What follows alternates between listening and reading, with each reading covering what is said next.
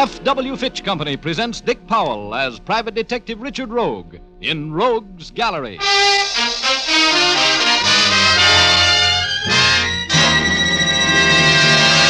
This chiseler's got you all fouled up in a murder, baby. You'll fry for it. Senor Rogue, I don't know anything about a murder. Tippy killed him. He killed Max. Conchita knows nothing about it. Stop being chumps, will you? You're both in this with me. You help me frame Rogue for it. With Maxon gone, I'm the biggest operator in town. All we have to do is kill Rogue, and we got the world by the tail. You'll all go to the chair for it. You can't get away with killing me. I'm going to kill you, Rogue, right now. If you've got anything to say, say it, because here it comes, fall guy.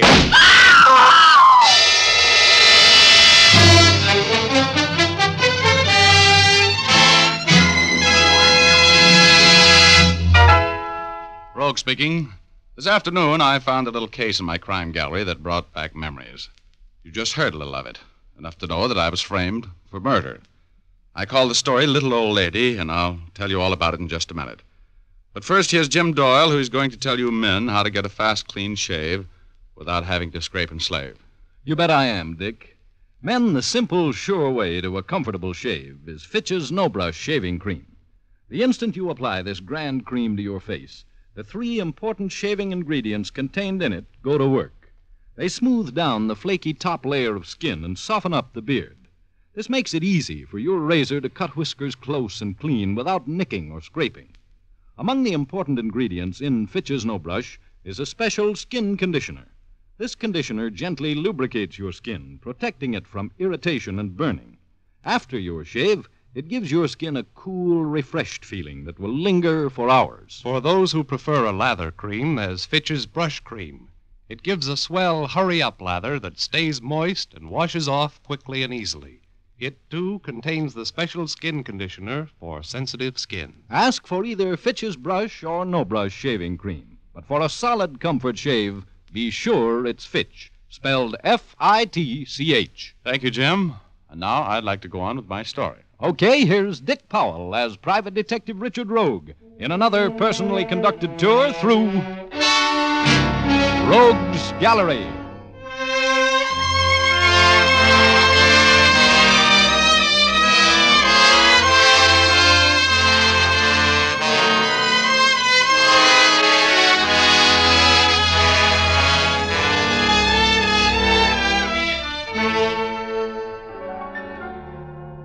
I was looking at the world through azure colored glasses that afternoon. I was as low as a centipede's hangnail and just about as irritated. A couple of lush cases I'd been working on had blown up without paying off, and the girl I was madly in love with that week was madly in love with some other guy. I needed some money, I needed a vacation, and I needed a new love interest. When the door to my office opened, and in walked a Latin type panic who made my heart beat in a rumba rhythm that would have made Cugat sound like Spike Jones. I just sat there trading my blue thoughts in on a lot of purple ones while she closed the door behind her and walked toward me. You are Richard Rogue, the detective? The celebrated detective, yes. What can I do for you? I need your help, Senor Rogue. Okay. What's your name? Conchita Morales. Oh, oh, the singer, huh? That's right. I'm in trouble, Senor Rogue. You know, I sort of suspected that was why you came to see me. What's your difficulty? Well, it's hard to explain, but there is a man in this town who is threatening me. Well, that's not hard to explain. You're the sort of girl who is liable to be threatened. What do you mean by that, Senor Rogue? Well, that you uh, you are beautiful and extremely desirable, and uh, well, uh, pardon me, Miss Morales. I shouldn't have said that. I'm just in a kind of an impolite mood today, I guess. Then you don't really think I am beautiful or desirable? Hmm. Don't let that glassy look in my eyes fool you, Conchita. I can see, and what I see pleases me, if you go for understatements. Then you will help me. You know, beauty's a wonderful thing, Mexican type, but so is money. My time's for sale. I have money. I will give you $250 if you will help me. What do you want me to do? I want you to get some letters back for me. Oh? Why? Because I write them when I'm very young and foolish to a man I think I love. I do not love him. I hate him. I want to marry someone else, that man I love, but I cannot because of these letters. Oh, here, here. Slow it down to a gallop, Conchita. I'm getting a little confused. Who has the letters? Frank Maxon is his name. He's no good. He is a, what you call a poor loser. Uh huh. And who is this man you love at the moment? Peter.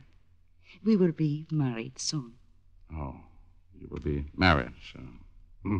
Well, in that case, let's make this strictly business. What do you want me to do? I'm having dinner with Frank tonight at the Club Cuba. I want you to meet us there. I want you to tell him he must give me back my letters. If he knows that I have employed you to help me, he will give them up. He is without courage. Don't see how I ever think I was in love with him. Frank is considered quite a ladies' man, or was before you went up on that income tax rap a couple of years ago. Yeah, I understand the boys in his mob are giving him a little trouble since he got out. Uh, where's that 250 you mentioned a while ago? It is here. Just a moment. Hmm, that's a retainer. If the case gets tough, it's going to cost you plenty more, Conchita. You know that? I do not care. I must have these letters. Here is $250. Thank you. And now, what time do I meet you at the Club Cuba? Be there at nine. And I'm warning you, Mr. Rogue. Come prepared for trouble.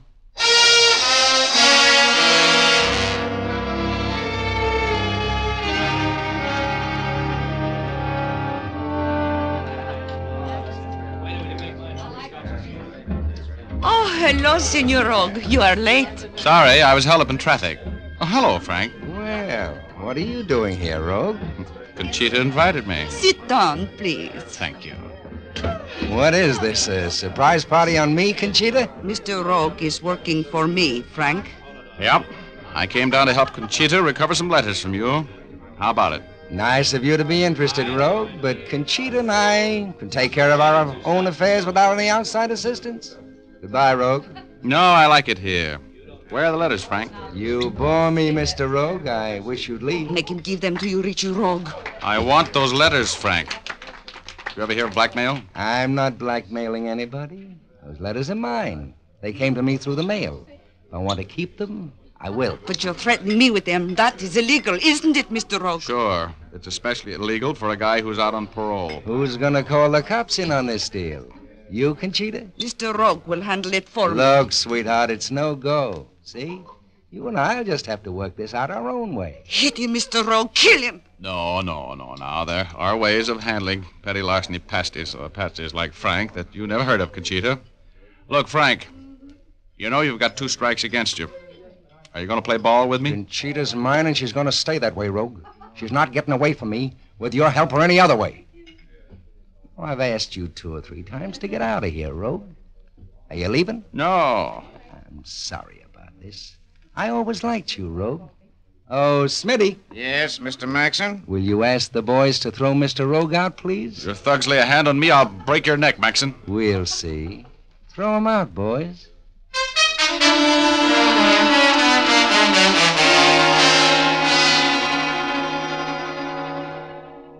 It occurred to me as I hit the sidewalk with the back of my head, among other things, that Frank owned a piece of the Club Cuba and that it was a bad place to start a beef with him.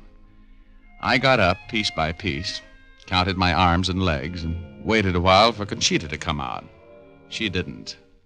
So I felt in my pocket for that 250. It was there. I went home. The next morning, I went to the office and tried all forenoon to get in touch with my Latin type client at her swank apartment hotel. The Mayflower couldn't locate her. I had a late lunch, and when I got back to the office about three, there was a little old lady waiting there for me. A lovely little old lady, with rosy cheeks and twinkling eyes, with a lot of laugh crinkles in the corners of them. Mr. Rogue? That's right. You waiting to see me? Yes, I was. I've been waiting for quite a while, Mr. Rogue. I just had to see you. Oh, I'll have a chair. Don't tell me you're in trouble. No. Oh, yes, Mr. Rogue, I am. I'm in trouble because my son is. Oh? Tell me about it. Well, there isn't really very much to tell, Mr. Rogue. I know so little about what Norman has been doing. He's always been a little wild, but a few weeks ago he quit his job. And he's had much more money than he ever had before. I know that he's been doing something wrong, Mr. Rogue. Well, now, Mrs. Uh, Mrs. Stam. Mrs. Stam, have you tried talking with him? And I uh, haven't told you the worst yet, Mr. Rogue. no. Last night he came home for the first time in ten days.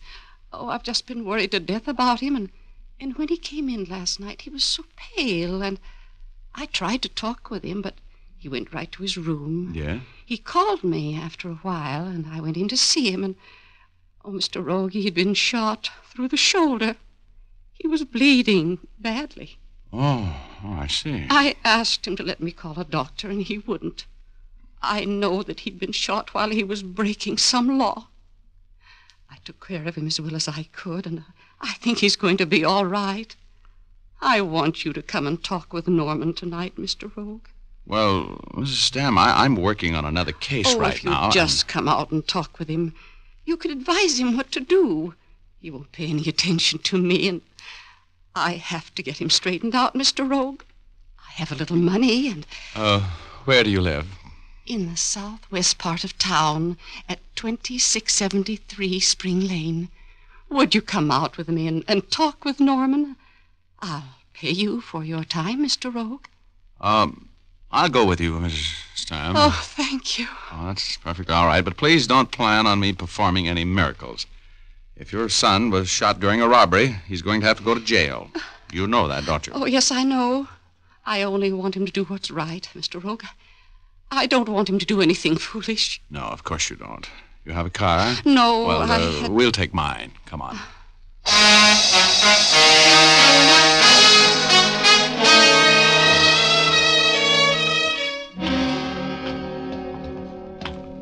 Well, you certainly have plenty of privacy out here, Mrs. Sam. Yes, it's lonesome. But my husband bought it many years ago. He thought then that it would build up out here, but it hasn't.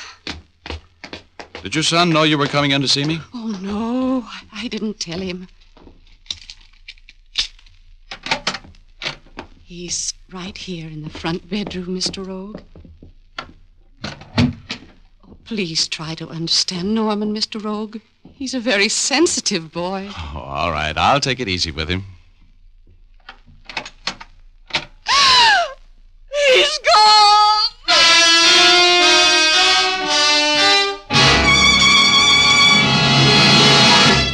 There was the bed with blood on the sheets where a man's shoulder would have been lying.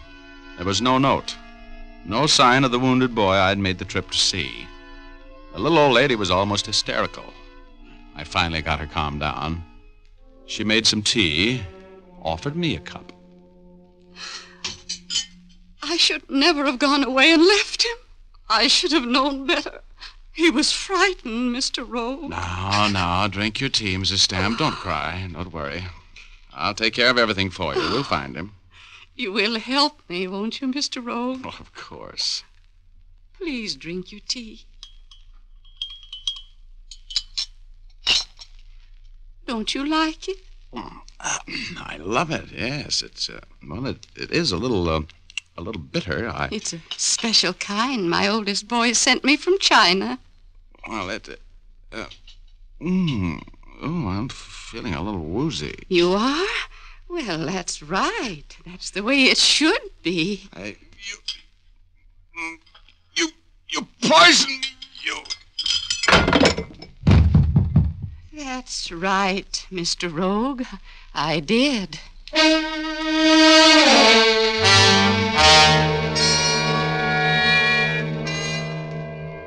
My body dissolved before it hit the floor, and a warm breeze wafted me upwards, gently, like a spark out of a chimney.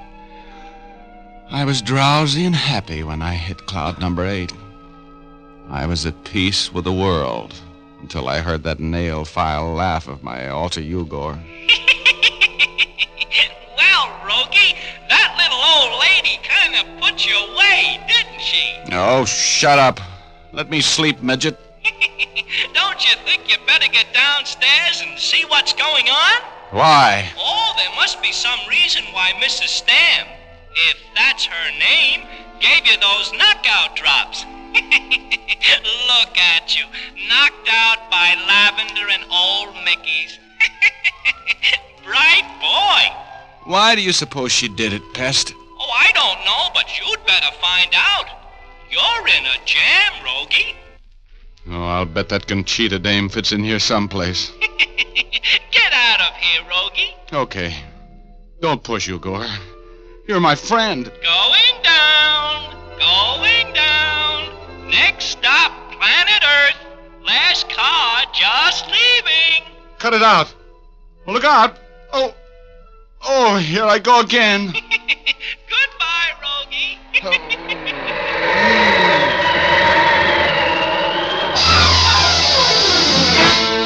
I came to in my car.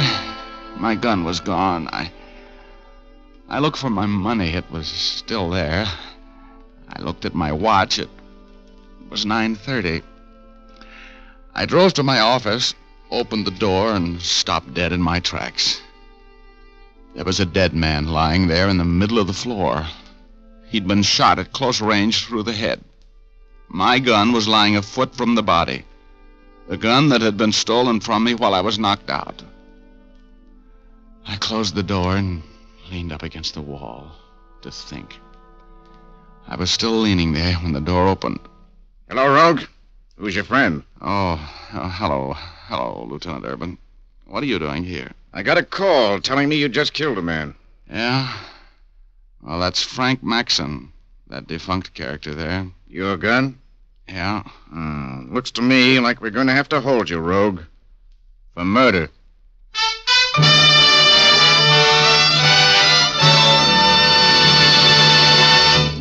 We'll return to our story in just a moment. But first, we'd like to remind you that in Marie Antoinette's time, hairdressers stood on ladders in order to dress towering hairstyles. Today, the trend in hair fashions is simplicity, a style that requires shining, immaculately clean hair. Fitch's saponified coconut oil shampoo is ideal to keep your hair looking its loveliest at all times. Made from pure vegetable and coconut oils, it protects the hair from drying and becoming harsh no matter how often you shampoo it. Just a little Fitch's saponified shampoo makes swirls of cleansing, fragrant lather that whisk away every bit of dust and dirt. And the special patented rinsing agent contained in the shampoo ensures the removal of all lather and other particles from the hair, so you won't have to bother with additional after rinses. For a shampoo that assures praise winning results every time, use Fitch's saponified shampoo. You can have a professional application at your beauty or barber shop or ask for an economical bottle at your drug or toilet goods counter. Fitch's saponified coconut oil shampoo, six full ounces, 50 cents.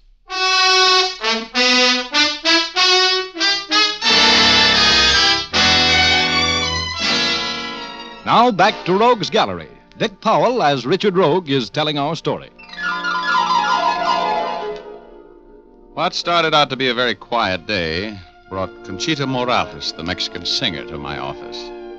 She wanted to get some letters back from uh, from a Frank Maxon. I went with her to meet Maxon in a cafe, and we had a brawl in front of plenty of witnesses.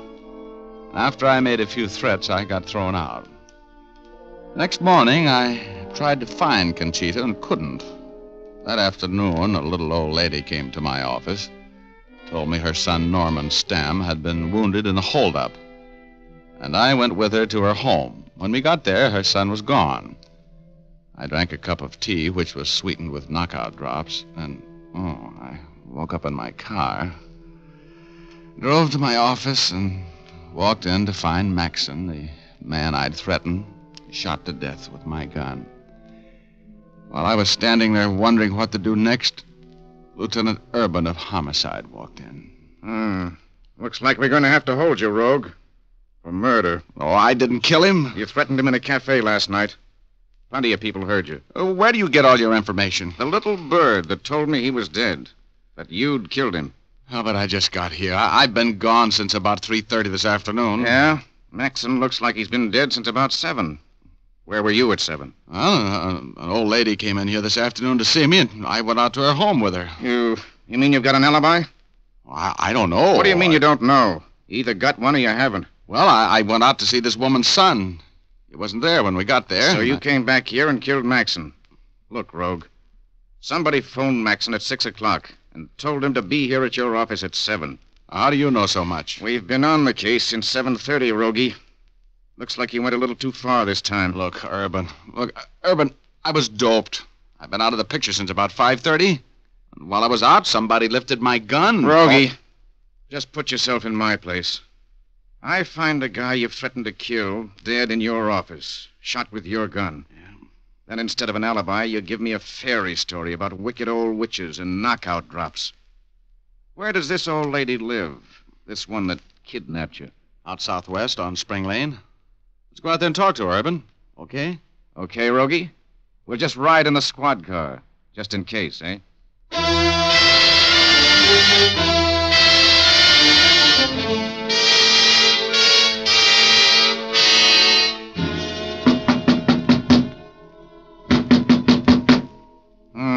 no lights on. There's nobody home. Think we'll go in, Rogie. As long as you say there's a wounded man in here, I don't have to have a warrant. Try the door. Well, it's unlocked. Come on. Turn on the lights.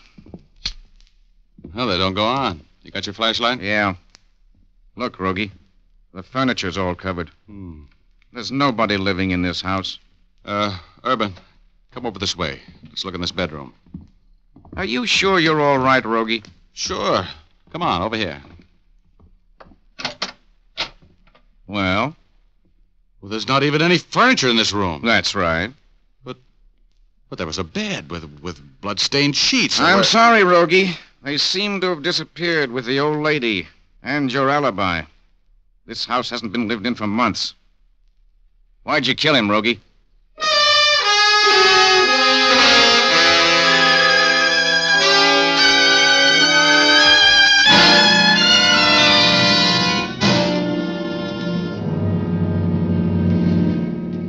Look, Urban, you know me better than to think I'd pull a dumb rub out like that in my office. Yeah, but there are no fingerprints on that gun but yours, Rogie. And he was killed in your office, and you don't have an alibi. What am I supposed to do? I'm a cop. I've got to believe the evidence. Oh, sure, I can see it that way. Well, I. I've been framed by an expert. Have any ideas? Some vague ones. Well, I'm gonna pull up here and get some cigars in that cigar store. If you're not here when I get back, uh, I'll expect you at headquarters in an hour. Thanks, Urban. Good luck, Rogie.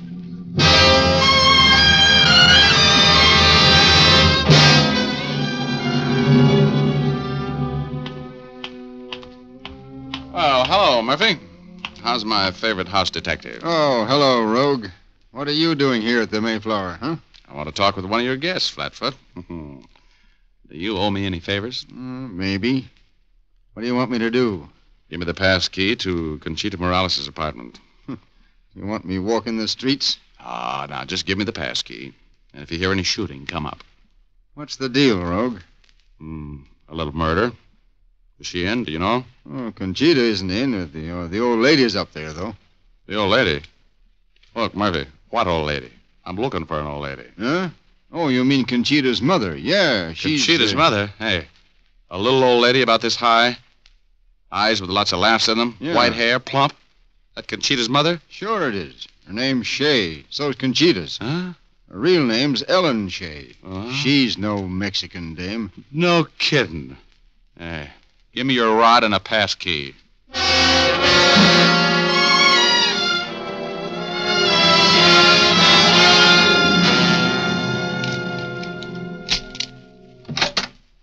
No, don't get up.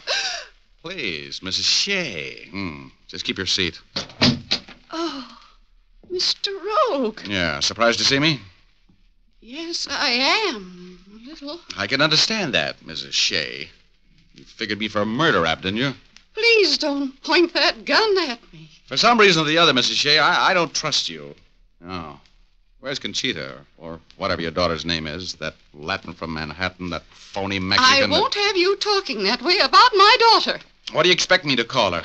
After the two of you framed me for murder. Murder? You said that before. What do you mean? Are you going to drop that act? Murder, I said. And murder's what you framed me for. Now sit down. Where's Conchita? I'm expecting her any moment. Drop that gun, Rogue. Oh, Tippy, where have you been? I've been waiting for you to come in. He keeps talking about a murder. I said drop that gun, Rogue. And why should I drop the gun? Because if you don't, I'm going to pull the trigger on this one. And it's resting at the back of your neck. Come on, drop it. Oh, well. Where did you come from? I was in the kitchen mixing myself a drink, fortunately. Hmm. Tippy Tyler, huh? I suppose you're the man Conchita's in love with at the moment. That's right. They're going to be married, Mr. Rogue. In the death house, I hope. it's wishful thinking, Rogue. The two of you killed Frank Maxon, didn't you? Killed him? Killed Mr. Maxon? oh. No, no, Rogue. You did, according to the cops and all the evidence. You were Frank's right hand man before he went up, weren't you, Tippy? Mm-hmm. He kind of took over while he was gone. Go on, talk, Rogue. I'm just figuring out what I'm going to do with you. Oh, Conchita. Hello, Mama. What are you doing here, Senor Rogue? He's making things difficult, Angel. I just dropped in for a little chat about a house out on Spring Lane and a wounded man who wasn't there and a murdered man in my office. That's all. It was a very nice job of framing me, Conchita, Ellen Shea. And you can drop that broken down accent. Okay, Mr. Rogue, smart guy. What happened? Who was murdered? Well, you ought to know. You helped to plan it. I did not. I don't know what you're talking about. I've been arranging things for us, Conchita. Frank Maxon is dead. Your mother helped arrange it. I didn't know what I was doing, Conchita. Honest, I didn't know. That's a lie, and you know it. You and your daughter end this thing too far to get out now unless you smart up fast. There's too much talk going on in here. Maxon's dead. He was found dead in Rogue's office, shot with Rogue's gun. Rogue's as good as burned for it. Mama, did you kill him? No, no, I didn't, Conchita. Look, sweetheart, everybody heard Rogue threaten Maxon last night. It was our chance to get rid of him.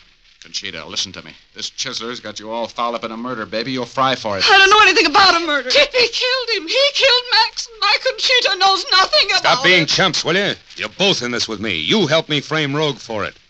Maxon gone, I'm the biggest operator in town. All we have to do is kill Rogue, and we've got the world by the tail. You'll all go to the chair for it. You can't get away with killing me. I'm going to kill you, Rogue, right now. If you've got anything to say, say it. Because here it comes, Fall Guy. Ah!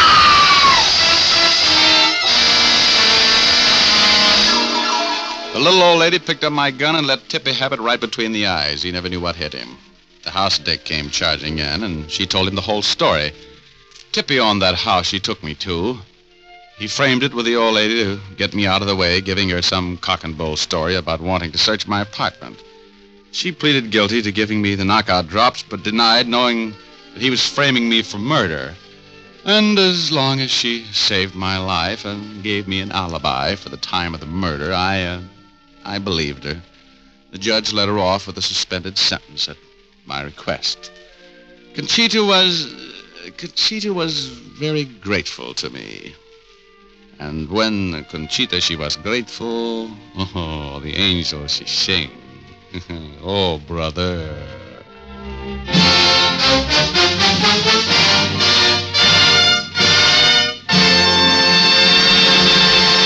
Is Dick Powell again, ladies and gentlemen. Don't I meet some lovely people in these stories? They love murder like Richard Rogue loves money, and it makes a very happy combination. Ray Buffum wrote the story, Leith Stevens composed and conducted the music, and Dee Engelbach produced and directed. But don't forget, you've got a date with us all next Thursday night. We've got a story for you about blackmail, intrigue, and sudden death. We call it Eve and the Apple. So make a date with us, will you? Thanks for listening, and good night, all. Now here's Jim Doyle. Don't forget to tune in again next Thursday, same time. Oh, and by the way, be sure to see Dick Powell in his newest RKO picture, Cornered, at your local theater soon. And as I was saying, don't forget to tune in again next Thursday, same time, same station, when you will again hear Dick Powell as Richard Rogue in Rogue's Gallery. Remember, if dandruff is your problem, ask for Fitch's Dandruff Remover Shampoo. Removes dandruff the first time it is used. Fitch's Dandruff Remover Shampoo is the only shampoo whose guarantee to remove dandruff is backed by one of the world's largest insurance companies. This statement can be made by no other shampoo. Ask for Fitch's Dandruff Remover Shampoo at your drug or toilet's good counter, barber, or beauty shop. Fitch is spelled F I T C H.